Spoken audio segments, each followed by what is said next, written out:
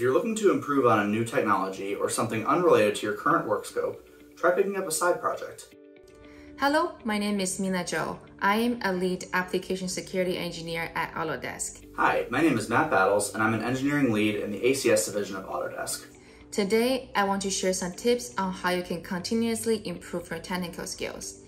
Tip number one When learning a new skill or technology, it's best to really take the time to master the skill rather than rushing through it. There are lots of resources for learning new skills and technologies, most of which are readily available online. Google and Stack Overflow are great resources for quick answers to questions, but most, if not all, languages and libraries have online documentation that can be referenced as well.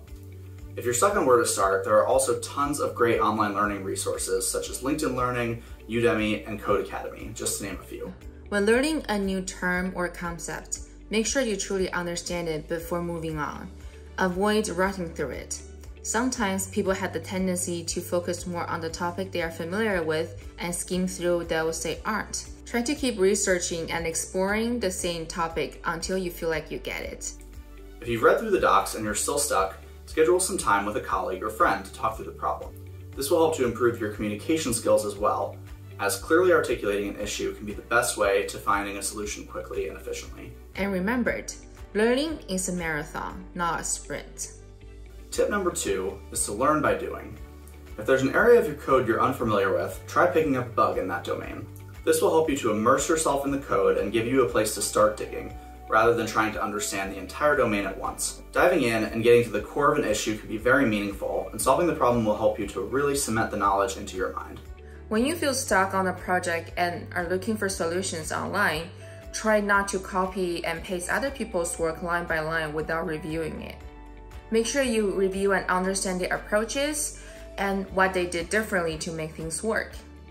Implement the same idea with different approaches and try to figure out what works the best for you. With this, you are not only building one thought process per problem, but actually figure out the best solution and own it. If you're looking to improve on a new technology or something unrelated to your current work scope, try picking up a side project.